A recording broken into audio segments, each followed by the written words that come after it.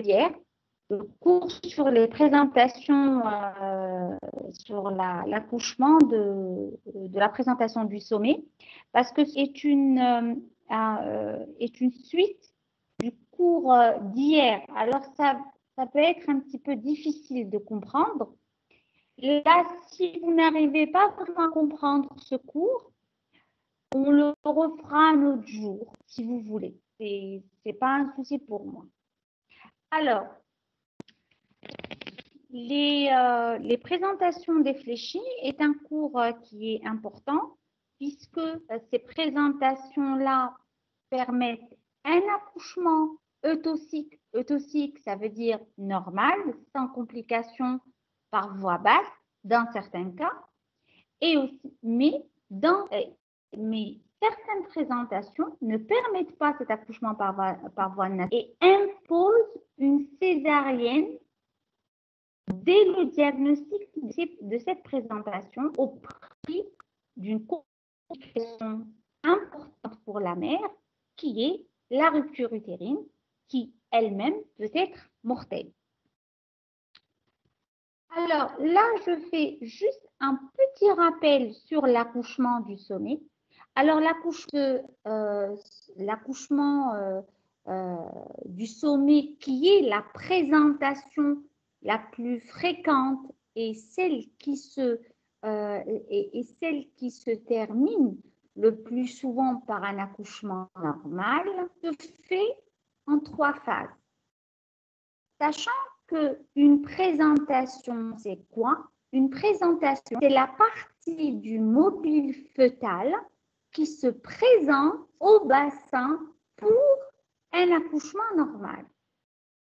Le bassin le bassin obstétrical est formé de trois parties essentiellement. Alors, ces trois parties sont le détroit supérieur, l'excavation, qui est tout ça, et le détroit inférieur. Ça veut dire, le bassin, c'est comme, c'est comme si on veut un cylindre avec une face une entrée, une face supérieure, un tunnel et une face inférieure. Alors, le franchissement de cette présentation, on a dit la présentation, c'est la partie du mobile feutin qui se présente au bassin pour sortir, pour l'accouchement. Alors, la première phase de l'accouchement, c'est ce qu'on appelle l'engagement. L'engagement, c'est le franchissement de cette présentation, c'est le franchissement du détroit supérieur. Le détroit supérieur, c'est quoi? C'est une aire qui est limitée par, les, par, euh, par le promontoire qui est, le promontoire, qu'est-ce que c'est Qui est la partie supérieure de la première vertèbre sacrée et elle est limitée en avant par la partie supérieure de la symphyse pubienne et latéralement, latéralement, c'est euh, les, les lignes innominées, ce qu'on appelle les lignes innominées du bassin. Alors, le franchissement de cette aire on appelle ça l'engagement. Après, la tête va descendre dans l'excavation, c'est le tunnel. Alors, et lors de sa descente, elle va subir une rotation, elle va tourner. Après, au terme de cette descente, elle va se dégager à travers le détroit inférieur. Le détroit inférieur est fait et limité en avant par la limite inférieure de la symphyse pubienne et en arrière par la pointe du coccyx. Alors là, on voit que l'axe de l'engagement, il est de haut vers le bas et d'avant vers l'arrière.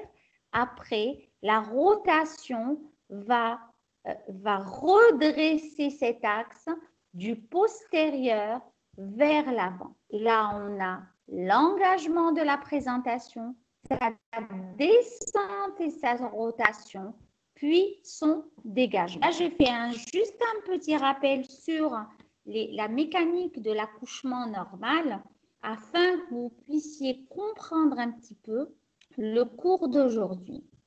Alors, les présentations, du sommet peuvent être fléchies ou défléchies. Fléchies, c'est quoi? C'est la flexion de la tête sur le thorax. C'est ce qu'on appelle les présentations fléchies. Les présentations défléchies, c'est quand cette tête va plutôt vers l'arrière, ça veut dire elle se défléchit vers le dos. Les présentations alors du sommet, on a dit, peuvent être fléchies, peuvent être défléchies. Les présentations défléchies sont en nombre de trois. Elles regroupent les présentations de la, la face. C'est une déflexion totale. Ça veut dire la tête est complètement en arrière et elle va être solidaire du dos. C'est une déflexion des trois tiers. Elle est totale. La présentation du front, c'est quand, le sommet se défléchit partiellement.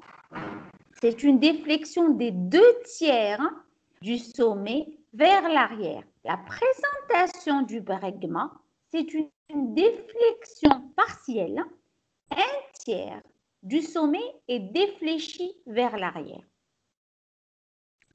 Certaines de ces présentations défléchies sont primitives. Qu'est-ce que ça veut dire primitive Ça veut dire elle, elle existe avant même le travail. D'autres, elles sont secondaires, ça veut dire elles se révèlent pendant le travail. Alors, là, on va voir ces présentations-là. Alors voilà une présentation du sommet. Alors, c'est comme si qu'on avait ici le détroit supérieur, ici le détroit supérieur. Alors, la présentation du sommet, le détroit supérieur est là. Si on regarde de, si on regarde d'en haut, c'est ce qu'on va voir. C'est ce qu'on verra à travers à travers notre vagin et à travers un col complètement dilaté.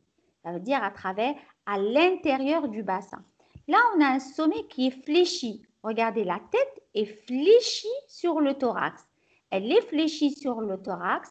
Alors, au niveau de l'air de dilatation, vous allez avoir cet aspect-là. Vous allez avoir la petite fontanelle. Et on n'a pas de grande fontanelle, on n'a que la petite fontanelle. Alors, après, on a le diamètre qui va se présenter à, cette, à, cette, euh, à, cette, euh, à ce détroit supérieur. C'est le diamètre sous-occipitaux. Voilà l'occiput. C'est le diamètre sous-occipitaux. Regardez ici. Voilà l'occiput. Sous-occipitaux. Bregmatique.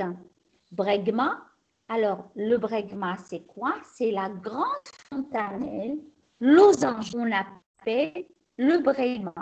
Et la petite fontanelle, on l'appelle lambda. Alors, dans le sommet, euh, ce qui se présente au détroit supérieur, c'est le diamètre sous-occipitaux bregmatique. C'est ce qu'on appelle le diamètre d'engagement. Après, un sommet mal fléchi. On est toujours en sommet, mais il est mal fléchi. Là, il y a un, petit espace entre le menton du, euh, du fœtus et le thorax, alors que là, le menton du, du fœtus touche le thorax. Là, le menton est un petit peu euh, un petit peu séparé du thorax. Là, le sommet, on dit qu'il est mal fléchi. Dans ce cas-là, le diamètre qui va se euh, présenter au détroit supérieur et le diamètre sous-occipitaux, toujours, voilà, on est là, sous-occipitaux, mais là, frontal, sous-occipitaux frontal. Et dans ce cas-là, on aura au niveau de, du détroit supérieur la grande fontanelle ainsi que la petite fontanelle. Regardez, ce diamètre-là, il fait 9,5 cm et celui diamètre-là, il est de 11 cm. Après, on a, là, vont commencer les présentations défléchies. Alors, les présentations défléchies, on a dit une déflexion de un tiers. Regardez, c'est juste un tiers de déflexion vers l'arrière. Là, on a, on l'appelle la présentation du bregma. Et dans ce cas-là, qu'est-ce qu'on va avoir? On va avoir la fontanelle, la grande fontanelle, qui va être au centre du détroit supérieur, presque au centre, presque au centre du, détroit supérieur, et euh, un diamètre qui va se présenter au détroit supérieur, c'est le diamètre occipitaux. On n'est plus en sous-occipitaux, on est en occipitaux frontal. Alors que quand il est fléchi, ce qui se présente, c'est le sous-occipitaux frontal. Mais là, c'est l'occipitaux frontal. Et là, vous, vous, êtes en train de voir que les diamètres qui se présentent au détroit supérieur, c'est des diamètres qui sont de plus en plus élevés. Et là, il fait 12 cm. Sachant que le diamètre du détroit supérieur, qui est le diamètre d'engagement, ça veut dire le diamètre qui va, euh, qui va permettre à, cette présentation d'être franchi. Ce diamètre-là, il fait 12 cm. Ça veut dire que là, on est inférieur, là, on est très inférieur, mais là, on est limite. Limite, euh, on est à la limite de, de ce diamètre-là. Alors, après, on a la présentation du front. La présentation du front, là, la déflexion, elle est de deux tiers. Là, la déflexion, elle est de deux tiers. Et ce qui va se présenter... oui euh, Vous pouvez essayer de désactiver votre caméra. Peut-être qu'on aura une meilleure qualité. Et on a du mal à suivre le curseur. C'est un peu bloqué. Alors... Euh, si vous expliquez avec, ce ne sera pas très clair. D'accord. Alors, désactive la caméra, vous voulez? Oui, peut-être qu'on aura une meilleure audio comme ça. Vous n'avez pas une meilleure audio Vous n'avez pas une bonne audio Qu'est-ce que vous voulez que je fasse alors? Si vous désactivez votre caméra, ça sera un peu mieux. D'accord. Alors, euh, alors, regardez, vous... Là, vous m'entendez? Oui, on vous entend toujours. Et là, vous me voyez passer ça Oui. D'accord. Et, là, vous m'avez dit avec le curseur, vous n'arrivez pas à voir euh, Non, on n'arrive pas à suivre le curseur. Vous n'arrivez pas à suivre le curseur. D'accord. Euh, vous me euh, donnez-moi juste deux minutes, je vais essayer de trouver une solution, d'accord Je reviens tout de suite.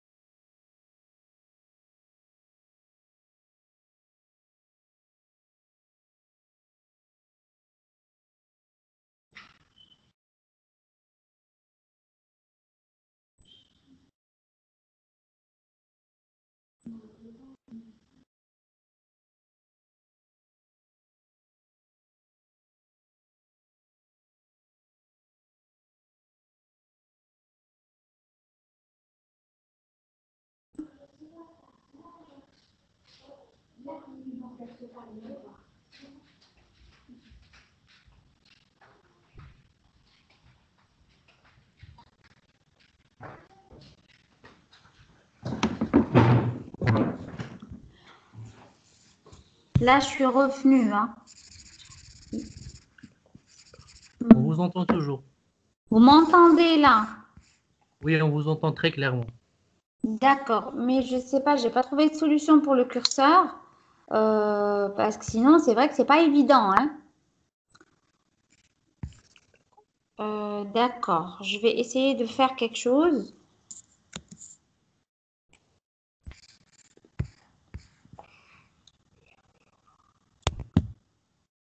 Attendez. Hmm. Mais après, euh, tu peux pas.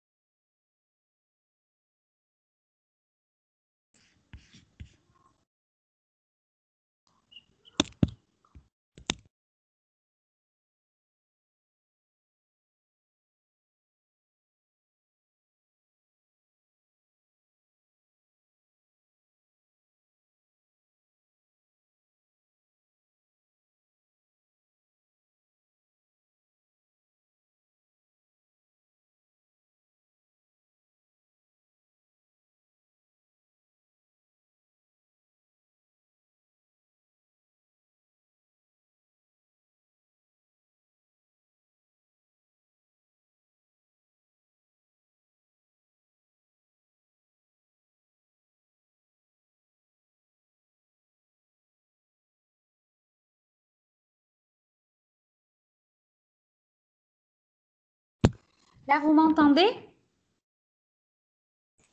Oui. Vous m'entendez? Oui. Vous, arrivez, vous êtes arrivé à suivre un peu ou pas vraiment? On est arrivé à suivre jusque-là, oui. D'accord, très bien.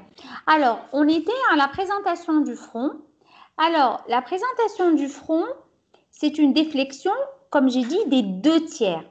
Et là, comme vous voyez très bien sur cette image, euh, le diamètre qui se présente au détroit supérieur, c'est le diamètre Sincipito-Mentonnier. Sincipito, comme vous voyez sur l'image du bregma, c'est au-dessus, c'est la partie au-dessus de l'occipite.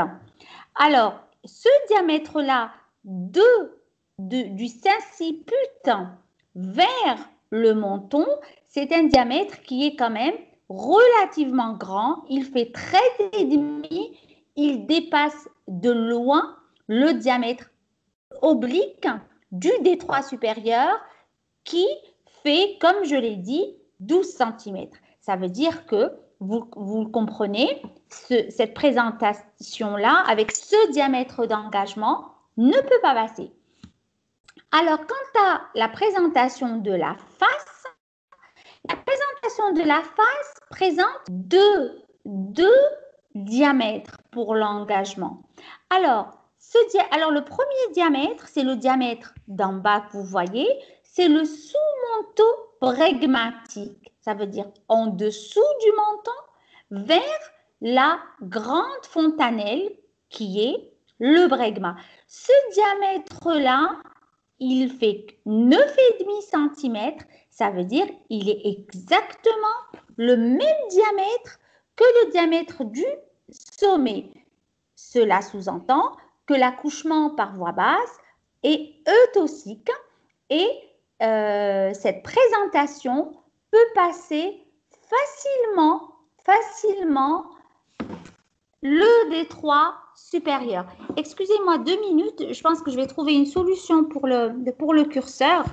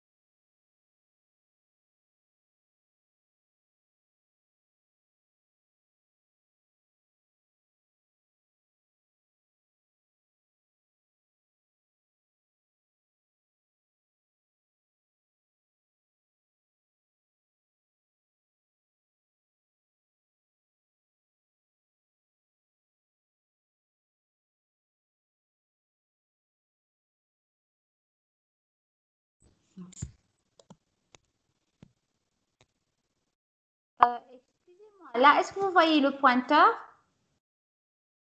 Oui, maintenant on peut voir. Là, vous arrivez à le voir. Très bien. Merci Alors. beaucoup. Excusez-moi, j'ai pris un peu de temps, j'ai essayé de trouver une solution.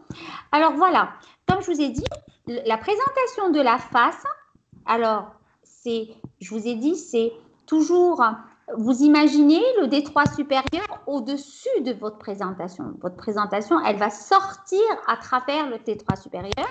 Alors il y aura un premier diamètre, c'est le sous-manteau, sous-manteau bregmatique du euh, euh, c'est plus bas que le menton, vers le bregma. Ce diamètre-là, il ne fait que 9,5 cm. Vous remarquez que c'est le même diamètre que le sous-occipito-bregmatique de la présentation du sommet, qui est, elle, on a dit, la plus toxique, qui se solde le plus souvent par un accouchement normal.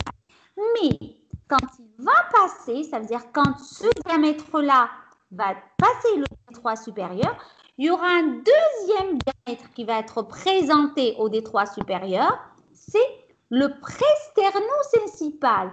Et vous remarquez que ce diamètre-là a la même longueur que le les mêmes mesures que le diamètre sincipito-mentonnier, qui est de 13,5.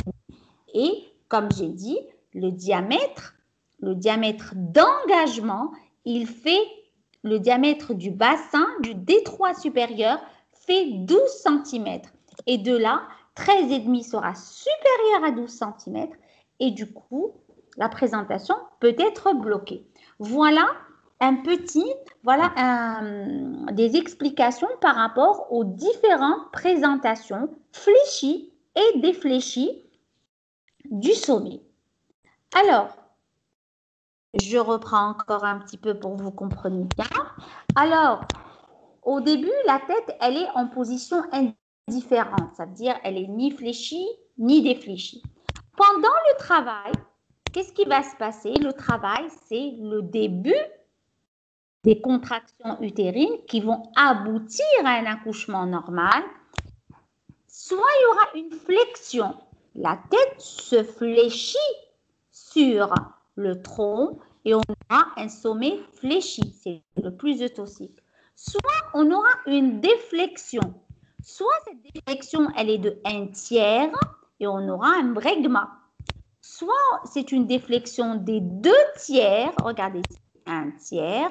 Soit c'est deux tiers qui vont être défléchis et on aura un front. Et soit cette déflexion, elle est totale et on aura une présentation de la face. Alors, quelles sont les étiologies des présentations défléchies? Les étiologies des présentations défléchies, elles peuvent être soit maternelles, soit fœtales. Je vous ai dit que la présentation le plus souvent euh, avant le travail, c'est une présentation qui n'a aucune position et c'est euh, le plus souvent pendant le travail qu'elle va avoir qu'elle va avoir euh, sa flexion ou sa déflexion définitive. Mais les présentations défléchies, elles vont être favorisées par certaines étiologies. A les étiologies maternelles, on a la grande multiparité, on a l'utérus mal formé et le bassin anormal. Alors, ce qui fait que la présentation se fléchit, c'est le, le, c'est le menton, le menton et l'occiput qui vont venir buter contre les os du bassin et, euh, en butant contre, les os du bassin, il y aura, une flexion de la tête. Et quand quand cette, euh, euh, ce, cette butée ne se fait pas, la flexion de la tête ne se fera pas et on aura une présentation défléchie. Parmi les causes fœtales, on a les tumeurs du cou qui imposent une déflexion. On a les dolicocéphales et les hydrocéphales. Pourquoi les dolicocéphales et les hydrocéphales? Parce qu'ils n'arrivent pas à buter contre la symphyse pubienne et du coup, ils vont rester défléchis. On a les enfants prématurés ou hypotrophes, c'est la même chose.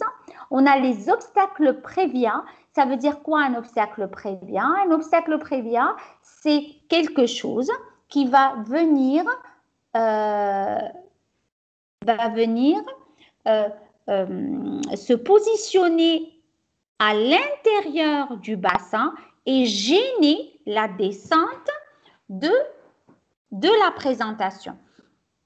Et on a l'hydramnios, l'hydramnios parce que le bébé va flotter dans, dans beaucoup d'eau et du coup, il ne pourra pas se positionner dans le bassin correctement. Alors là, je vais faire un petit rappel sur un petit rappel sur les fontanelles. C'est très important parce que ces fontanelles-là, elles sont importantes pour le diagnostic des présentations parce que c'est elles que vous allez toucher au niveau de l'air de la dilatation lors euh, de l'accouchement.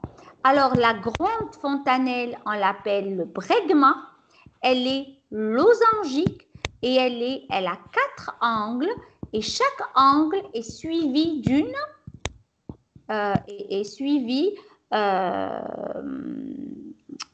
elle a quatre angles et euh, d'une suture et elle a quatre angles et chaque angle est suivi d'une se, se, suit par une suture.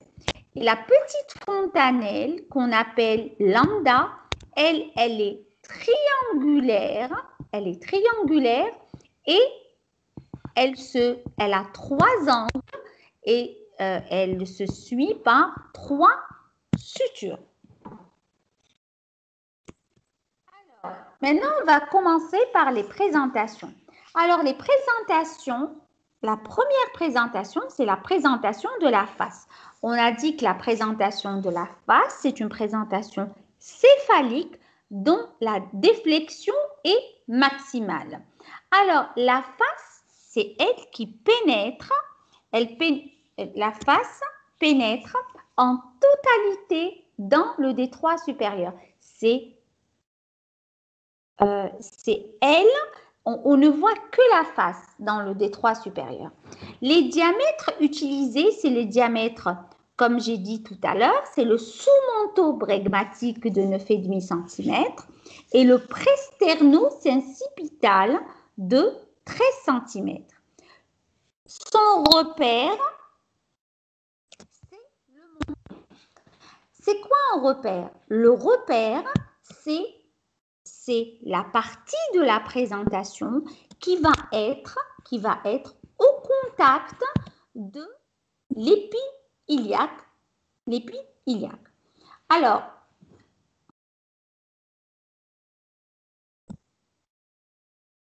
Et c'est ce repère-là va déterminer la variété de position de la présentation.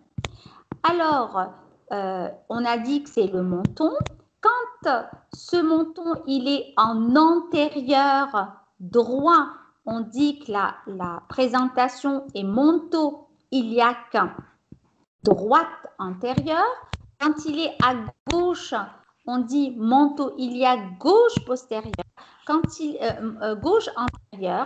Quand il est en postérieur, on dit manteau iliaque gauche postérieur ou manteau iliaque euh, droite postérieure. Alors, le repère de la présentation, de toute présentation, c'est la partie de la présentation qui permet de déterminer la variété de position de la présentation. Alors, la mécanique obstétricale. La mécanique obstétricale, elle est scindée en plusieurs, en plusieurs événements. Alors, on a premièrement l'engagement de la présentation, puis la descente et rotation de la présentation, puis le dégagement de la présentation. L'engagement de la présentation de la face est un engagement synclite. Qu'est-ce que ça veut dire synclite Ça veut dire que ça passe sans aucune difficulté. Pourquoi ça va passer sans aucune difficulté? Parce que comme j'ai dit, le diamètre, le diamètre qui se présente au détroit supérieur, le premier diamètre, c'est le diamètre de 9,5 cm qui est le sous-occipito bregmatique. Alors, sous-monto bregmatique, excusez-moi, là j'ai fait une petite erreur en écrivant. Le diamètre qui se présente euh, au niveau du T3 supérieur, c'est le sous-monto bregmatique. Il fait 9,5 cm. Et ce diamètre-là, va s'orienter au début vers le diamètre oblique gauche du bassin, qui est la variété la plus souvent rencontrée. L'amoindrissement se fait par hyperdéflexion et ce diamètre-là va pouvoir passer sans aucune difficulté le diamètre à travers le diamètre oblique du bassin qui lui fait, du détroit supérieur, qui lui fait 12 cm. Mais après le passage de ce diamètre-là, il y aura un deuxième diamètre qui va être présenté au détroit supérieur, qui est le diamètre presterno, presterno sensipital. Et celui-là, il est largement supérieur au diamètre oblique du détroit supérieur et, euh, quand il arrivera au, détroit supérieur, la présentation trouvera des difficultés à, euh, à passer. Alors, maintenant la rotation et la descente. On a dit l'engagement du premier diamètre se fait très facilement. Mais après, la, première partie de la descente de la tête se fera aussi aisément. Mais dès que ce, diamètre-là arrive, ça veut dire le diamètre presterno-sensipital arrive au niveau du détroit supérieur, il ne pourra pas passer parce qu'il est irréductible. Il ne peut pas être réduit et il est largement supérieur au diamètre du bassin du, 3, du détroit supérieur.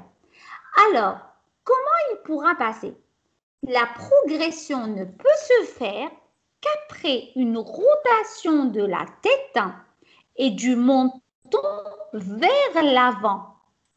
La rotation du menton vers l'avant sous la symphyse pubienne permettra une flexion de la tête sur une reprise de la flexion de la tête sur, sur, le, sur le tronc en prenant appui sur la symphyse pubienne, ce qui permettra de désolidariser, de désolidariser cette désolidarisation, regardez, qu'est-ce qu'elle fait? Elle réduit le diamètre de passage du détroit supérieur du reste du corps du fœtus. Regardez là, quand il veut passer, regardez tout le diamètre là, il fait 14 cm parce que c'est un diamètre entre le, le sternum jusqu'à l'occiput. C'est un diamètre de 13,5 à 15 cm. Et après, qu'est-ce qui va se passer?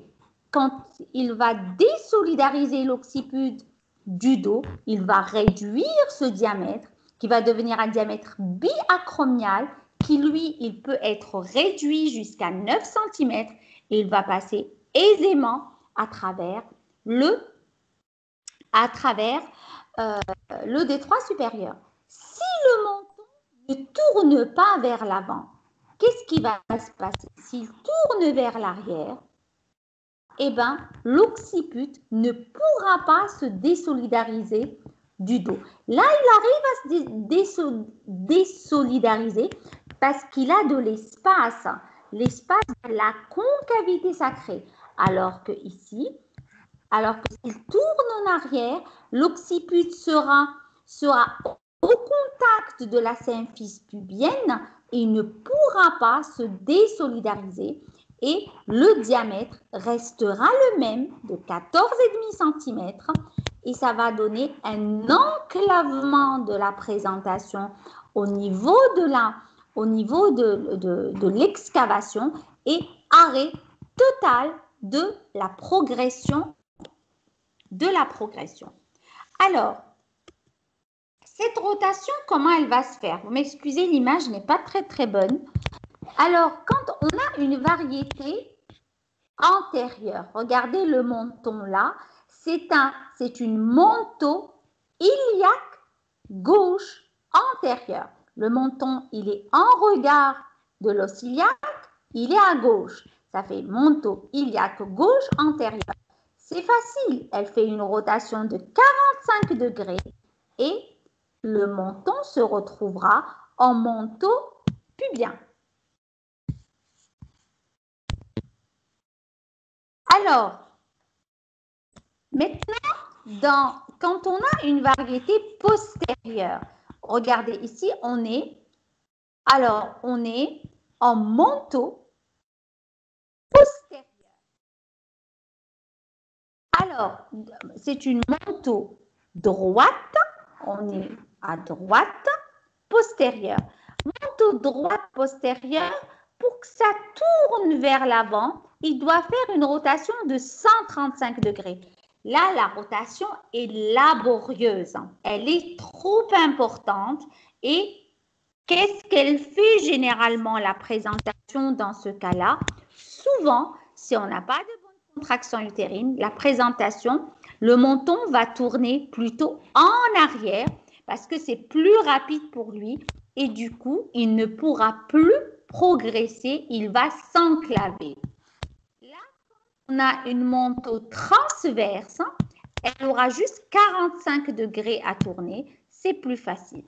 Ça veut dire que les variétés antérieures et les variétés transverses, elles ont plus de chances de tourner en antérieur et de finir leur accouchement par voie basse. Par contre, les variétés postérieures, elles vont avoir beaucoup plus de difficultés à tourner en antérieur vers l'avant et, souvent vont tourner vers l'arrière au prix d'un enclavement et d'une impossibilité de continuer l'accouchement voie basse. Alors, ce que vous devez retenir ici, dans cette présentation de la face, c'est que la chose la plus importante, c'est que la rotation de la tête, de la, de la face vers l'avant, avec un menton vers l'avant, est obligatoire pour la progression de la tête et la continuité de l'accouchement par voie basse. Alors, le, dégagement se fait comment? Se fait par flexion de la tête. On a dit que déjà, elle a commencé sa flexion pour désolidariser l'occiput du dos. Là, elle va finir sa flexion et on aura apparition du nez, des yeux, les arcades orbitaires, puis le front, la grande fontanelle et enfin l'occiput. Alors, on va récapituler. Alors, on va récapituler. On aura l'engagement de la tête à travers le détroit supérieur. Le diamètre qui va être présenté, c'est le sous-manteau bregmatique.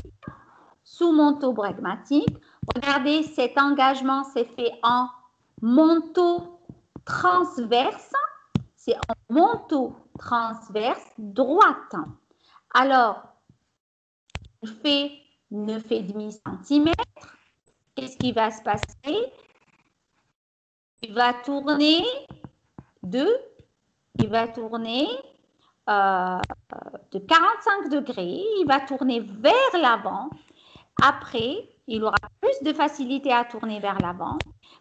Quand ce diamètre-là va être engagé, quand il va commencer à descendre, c'est le diamètre présterno-sensipital qui va être orienté vers le diamètre du détroit supérieur.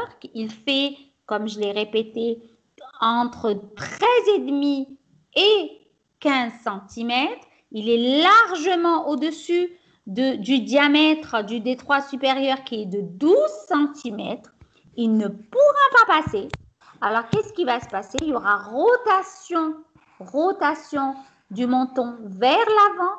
Il va prendre, le menton va prendre appui sur la symphyse et il y aura désolidarisation de l'occiput du dos du fœtus et, et il y aura amoindrissement de, euh, du, diamètre et c'est le diamètre biacromial qui va être présenté au détroit supérieur et la tête pourra, euh, pourra franchir l'excavation et se dégager. Et il y aura un dégagement manteau antérieur.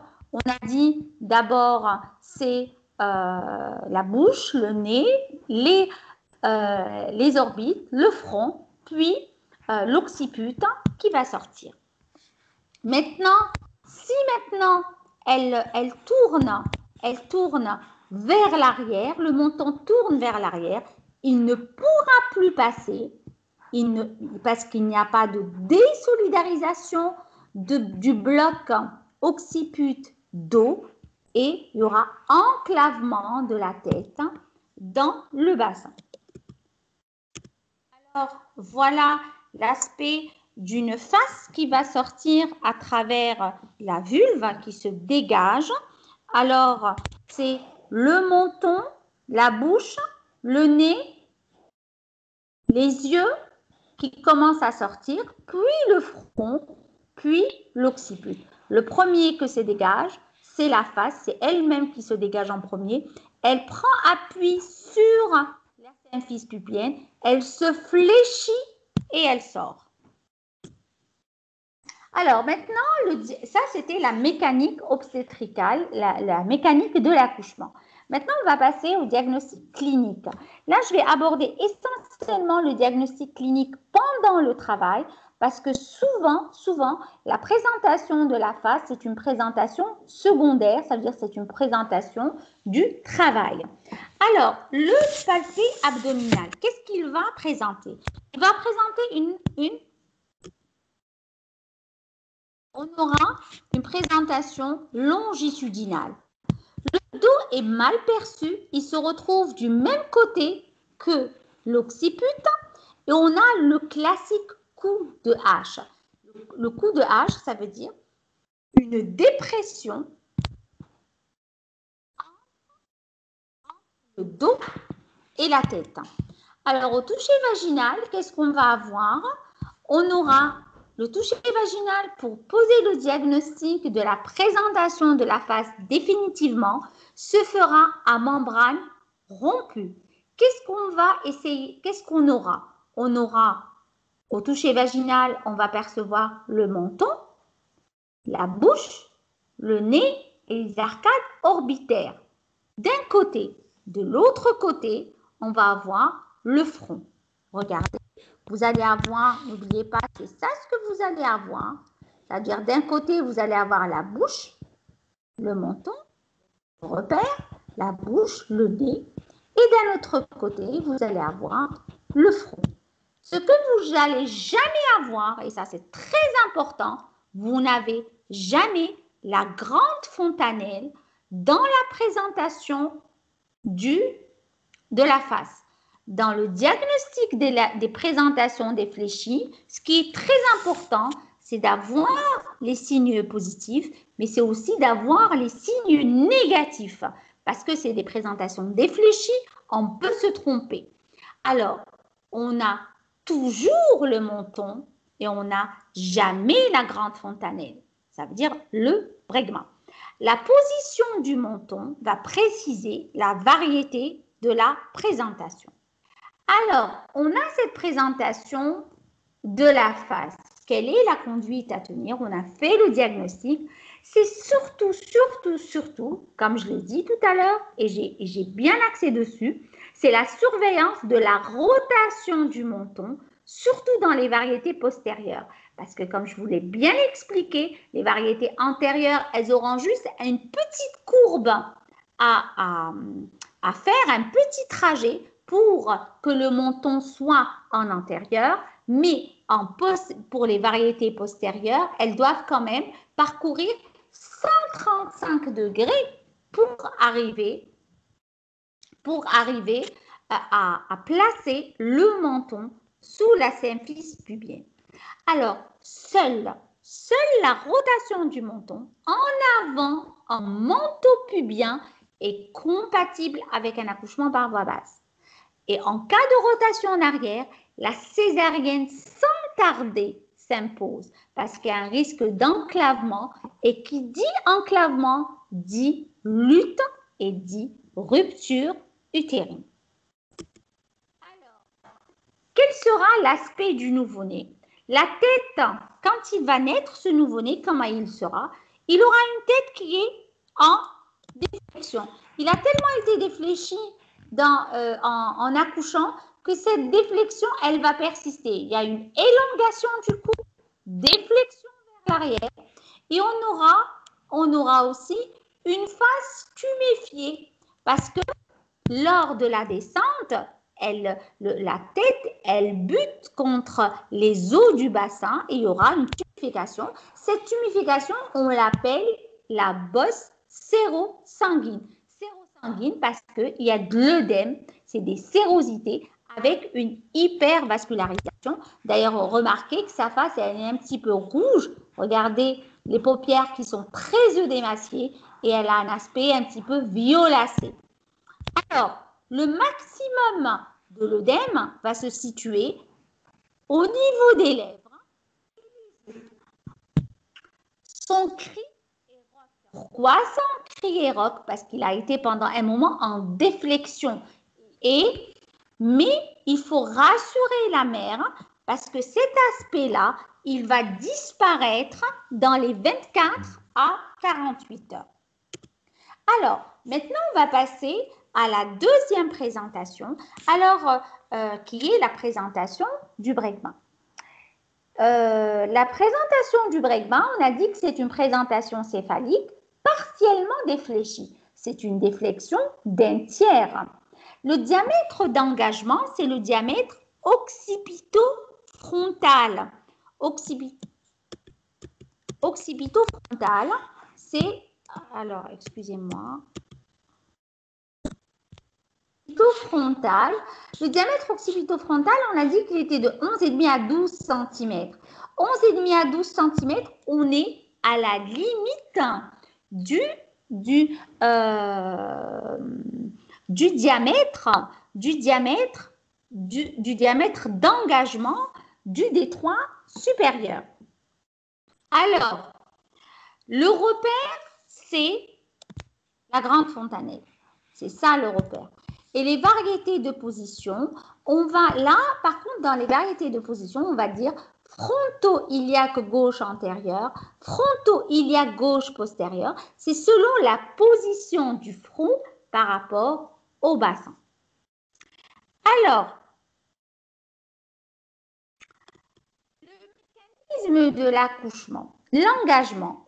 Alors, l'orientation, c'est l'orientation du diamètre occipito-frontal dans un des diamètres obliques ou dans le diamètre transverse du détroit supérieur. L'amoindrissement se fait par remodelage en cylindre. Qu'est-ce que ça veut dire? C'est comme si on allait comprimer cette tête. Il ne faut pas oublier que la tête d'un bébé, les sutures ne sont pas encore complètement, ne sont pas soudées. La tête du bébé, les os sont mous. Et ce caractère mou de la tête fœtale lui permet d'être remodelé. Ça veut dire on arrive un petit peu à comprimer cette tête et amoindrir son diamètre. Parce que comme on a vu, le son diamètre le diamètre de la présentation du, du bregma, il est entre 11,5 et 12. Il est à la limite du diamètre du, du diamètre oblique du détroit supérieur. Alors, la bosse sérosanguine, elle sera très importante, mais dans ce cas-là, elle sera sur la grande fontanelle. Et l'engagement se fait par frottement. Qu'est-ce que ça veut dire par frottement? Frottement, ça veut dire que si, par exemple, vous voulez passer, euh, vous devez passer euh, à travers un endroit étroit. Vous n'allez pas passer directement. Vous allez, euh, vous, vous allez y aller un côté, puis l'autre côté, et, du coup, vous allez arriver à passer. On, passe par frottement. La descente et rotation, elles sont laborieuses. La rotation de l'occiput se fera toujours en arrière. Dans le bregma, elle se fait toujours en arrière.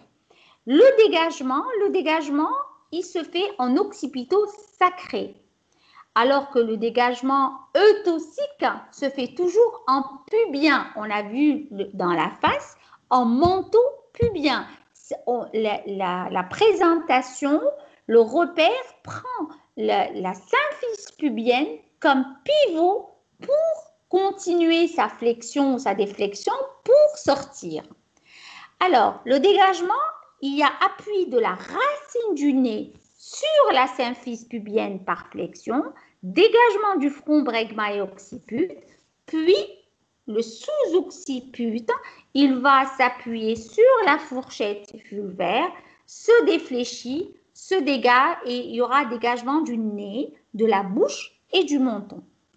Alors, voilà ce qui se passe. Dans le dégagement, on a dit que la rotation de l'occiput se fait toujours, toujours vers l'arrière.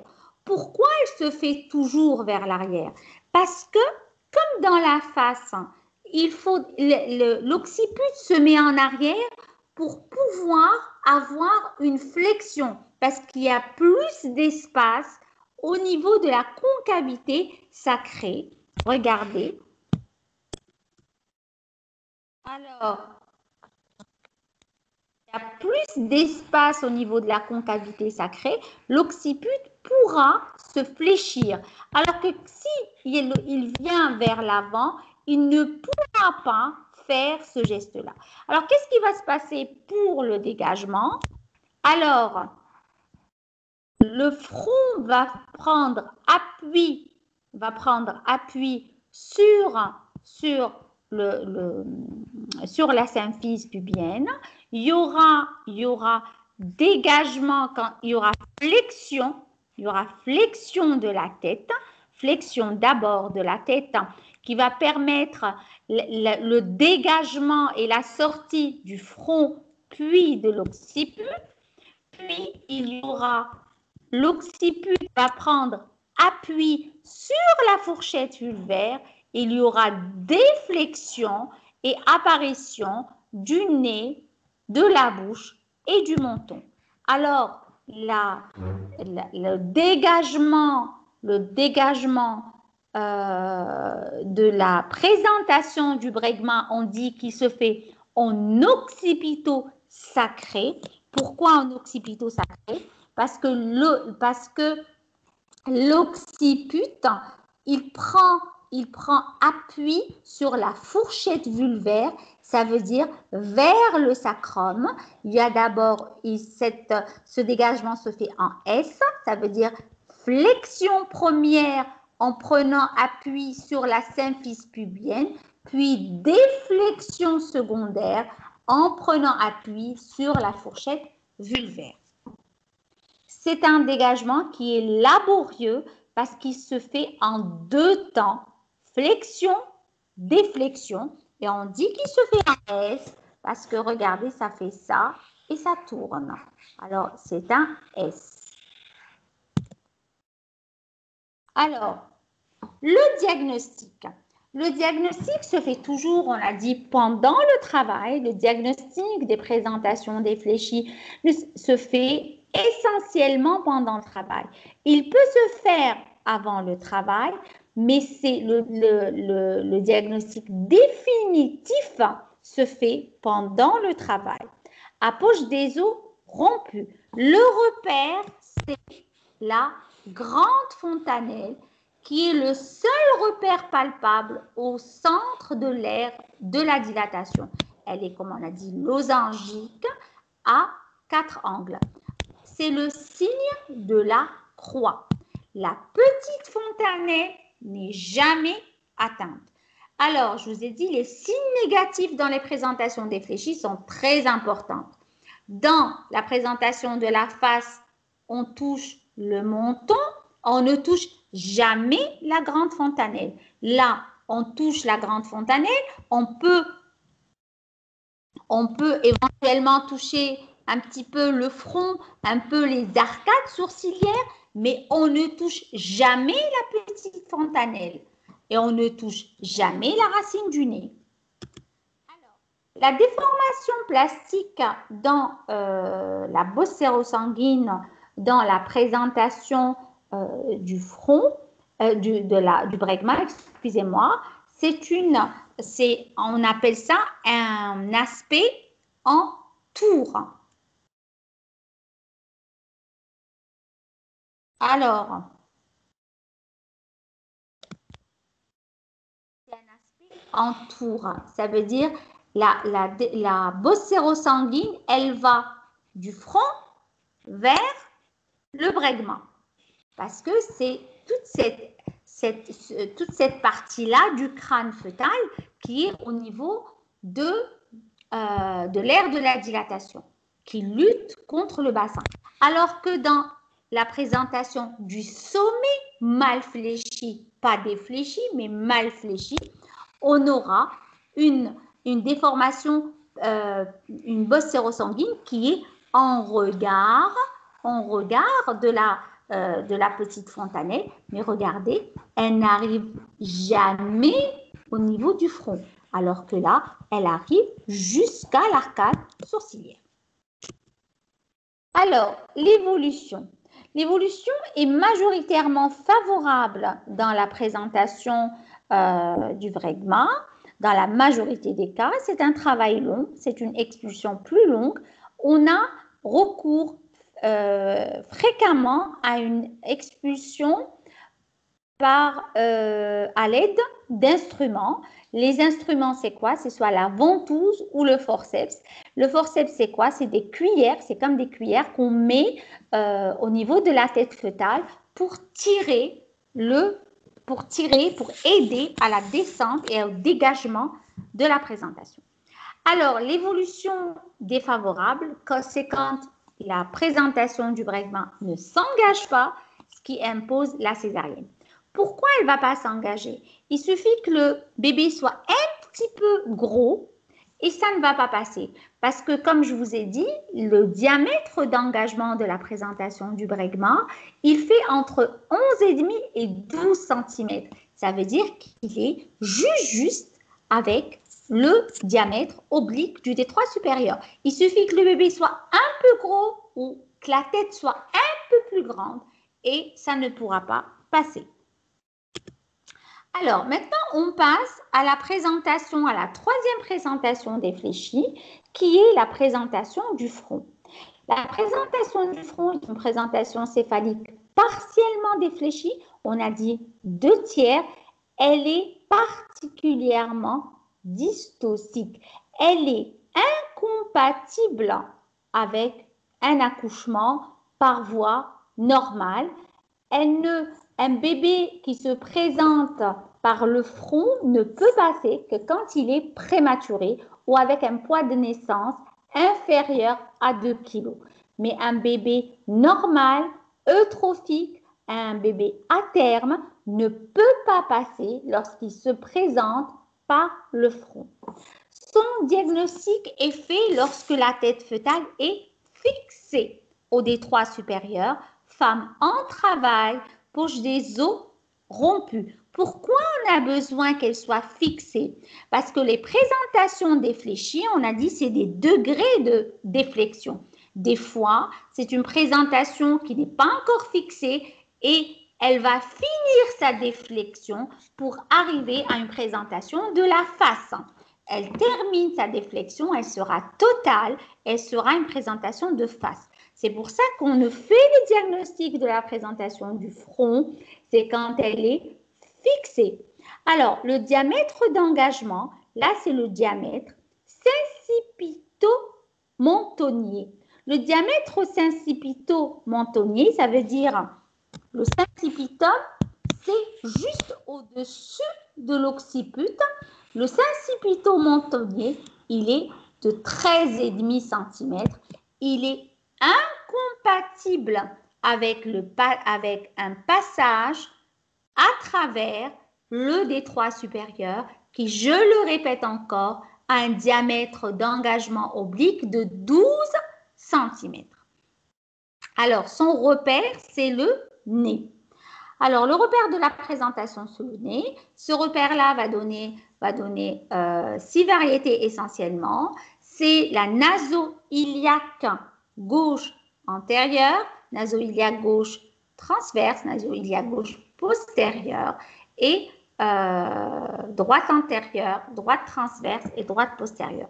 Il faut savoir que les, variétés les plus euh, souvent euh, rencontrées, c'est les variétés naso-transverses.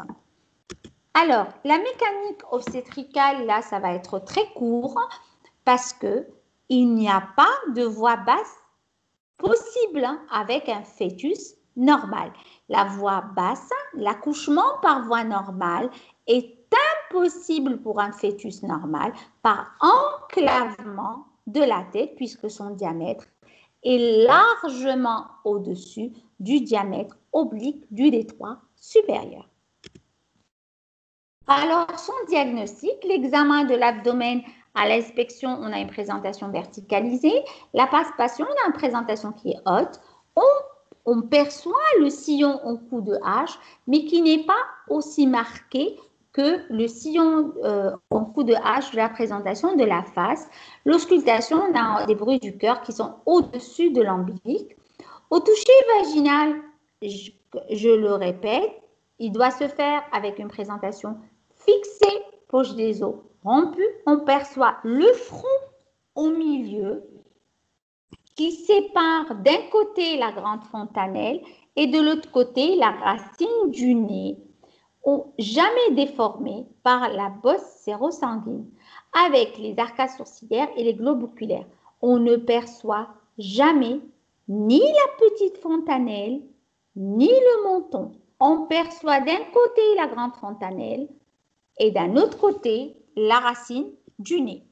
Alors, les complications maternelles, si on n'agit pas rapidement, je vous ai dit un enclavement de la présentation et on aura une rupture utérine. Alors, fœtale, on peut avoir des embarrures frontales parce que le front essaye de passer à travers la symphyse et il n'arrive pas. Alors, on aura des embarrures frontales, un hématome extradural, un hématome sudural, des déformations de la tête en visière et on aura la bosse sérosanguine qui va siéger au niveau des yeux, essentiellement sur les yeux et le front. Alors que dans la face, comme je l'ai dit tout à l'heure, la bosse sérosanguine, elle est essentiellement sur les lèvres et les joues. Sur le front, elle est sur les yeux et les fronts. Voilà. Alors, aucune manœuvre de flexion n'est acceptable la seule voie d'accouchement en cas de présentation du front reste la césarienne en urgence. Alors, si on veut faire une petite synthèse, pour, les présentations euh, des, fléchis qui sont le bregma, le front et la face, le bregma, on a dit un tiers de déflexion, le front deux tiers de déflexion, la face trois tiers de déflexion. Le repère du bregma, c'est la grande fontanelle, le front, c'est le nez. La face, c'est le menton. Le diagnostic au toucher vaginal, le bregma, on a la grande fontanelle au centre, jamais de petite fontanelle. Dans le front, on a la grande fontanelle d'un côté, De l'autre côté, c'est le nez, jamais le menton. Et dans euh, la face, on a la bouche au centre, le nez d'un côté, le menton de l'autre, la grande fontanelle jamais perçue. Et les différents diamètres, dans le bregma, c'est l'occipito-frontal, dans le front, c'est le sincipito-mentonnier, et dans la face, c'est le sous-manteau bregmatique. Quand on voit ces différents diamètres, on s'aperçoit que le front, c'est la présentation la plus dystocique. La face, c'est une présentation. La face, c'est une présentation eutocique. Et le bregma,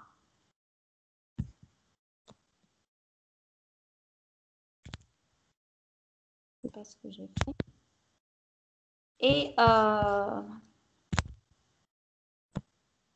Et le bregma, et le bregma est une présentation euh, potentiellement dystocique et son devenir dépend du poids fœtal et du bassin obstétrical.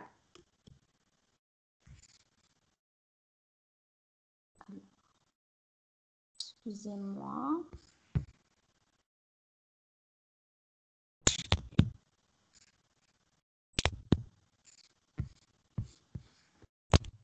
Alors,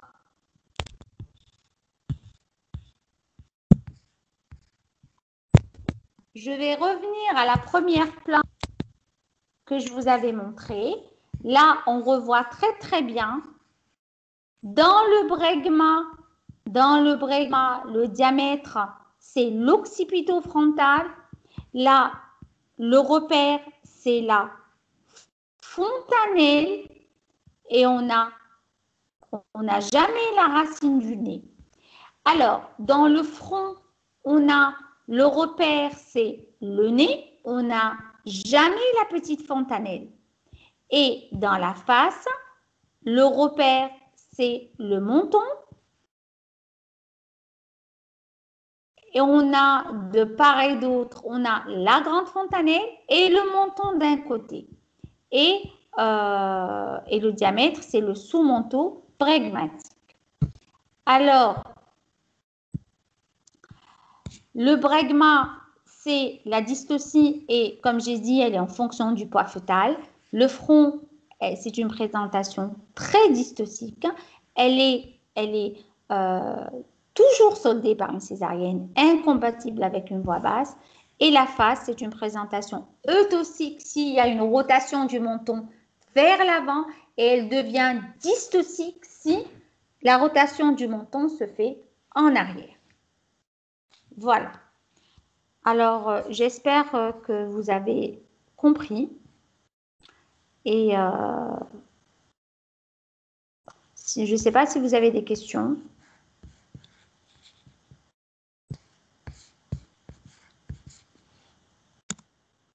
Alors, en conclusion, en conclusion, le, conclusion,